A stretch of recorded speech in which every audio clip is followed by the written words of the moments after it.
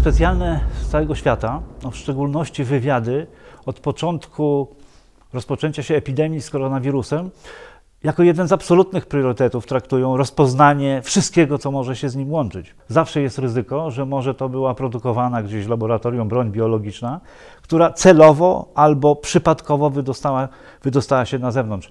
E, celowo, no właśnie, użycie broni biologicznej, przypadkowo przez czyjeś niedopatrzenie, ale ze skutkami tak samo fatalnymi, jakby to było użyte celowo. No jeszcze gdzieś jest wersja, że być może to była forma zamachu terrorystycznego, że komuś się udało jakiemuś radykalnemu ekstremiście dostać do, do laboratorium albo przekupić kogoś w laboratorium, żeby, żeby użyć tego jako zamachu terrorystycznego. Służby cały czas to muszą sprawdzać. Służby powinny mieć na takim punkcie paranoję i y, wszystkie najbardziej nawet absurdalne wersje sprawdzać. Y, no, jak się za to zabierają? No, skądinąd wiadomo, że w, takich czasach, kiedy komunikacja między ludźmi jest utrudniona, bo ludzie muszą, nie wiem, być na kwarantannie, albo muszą się tłumaczyć każdemu patrolowi, czy idą do pracy, czy idą do kościoła, czy idą do sklepu, a jak powiedzą, że idą na spacer, to im nie wolno. No więc oczywiście w takiej sytuacji taka agentura się nie bardzo sprawdza i trzeba szukać innych narzędzi do tego, żeby żeby ustalać y, jakiekolwiek informacje na temat, na temat tegoż koronawirusa. Y, wywiady amerykański i brytyjski sygnalizują, że widzą bardzo dużą aktywność hakerów, takich hakerów, których kojarzą przede wszystkim z Rosją albo z Chinami. No, trudno się dziwić. Rzeczywiście te, te hakerskie sztuczki były nakierowane na przykład na systemy opieki zdrowotnej. No, nic dziwnego, dlatego że opieka zdrowotna to jest jednak system bezpieczeństwa państwa, to jest system zarządzania kryzysowego i na ile ona jest wydolna, to jest to istotne z punktu widzenia takiego rozpoznania wojskowego, wywiadu wojskowego. Także są nakierowane na samowystarczalność państwa, bo każdy, to jest jednak element strategii wojskowej, wiedzieć, czy państwo, które jest stroną konfliktu, jest samowystarczalne gospodarczo, samowystarczalne surowcowo, samowystarczalne energetyczne, to też się bardzo dobrze sprawdza w takich sytuacjach kryzysowych. I trzecie to jest po prostu rozpoznanie systemów zarządzania kryzysowego, to jest rozpoznanie systemów funkcjonowania państwa w sytuacjach nadzwyczajnych, czyli właśnie takich, jakby państwo stało się stroną konfliktu zbrojnego. Tego rodzaju wiedza jest dla służb wywiadowczych bezcenna. E, no, właściwie e, te działania wywiadowcze mogą być przy ograniczonych środkach komunikowania się z agenturą.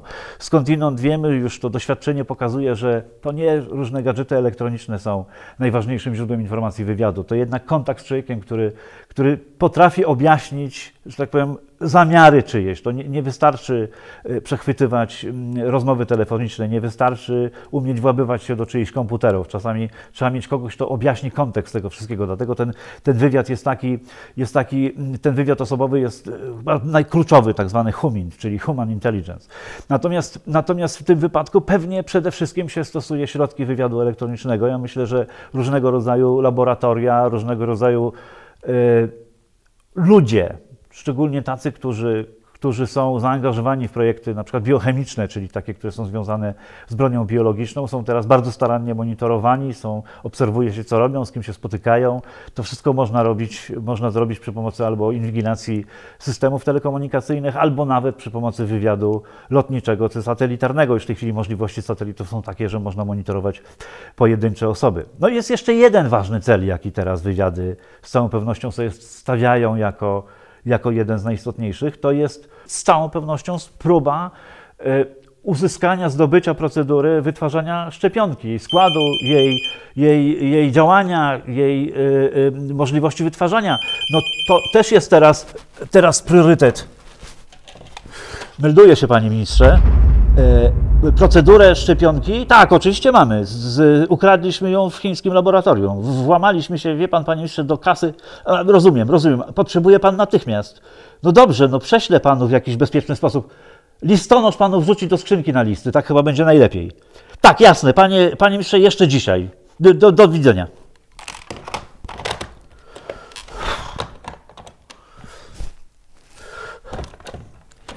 Kowalski, Kowalski, masz jakąś chińską książkę telefoniczną gdzieś tam? Masz. Wiesz co, zeskanuj jedną stronę i wyślij y, pocztą do ministra y, złożoną w kopercie. Ta koperta ma być zaznaczona ściśle tajnie, ściśle tajne i y, do rąk własnych, bez możliwości udostępnienia komukolwiek innemu. E, a druga sprawa, znasz jakiegoś lekarza? Dentystę. No dobra, to niech ten dentysta napisze nam, jak się robi jakieś tam substancje antyzapalne, albo jak się leczy dziąsła, kiedy tam są zaatakowane przez wirusa. Dobra, jakąś, jakiś skład chemiczny. Potem dostarczymy to ministrowi i powiemy, że to jest przetłumaczone z chińskiego. Wiesz, jak to zrobić, rozumiesz? Tylko ma nie wycieknąć, nic ma nie wycieknąć, pamiętaj. Dobranoc. Dziękuję bardzo.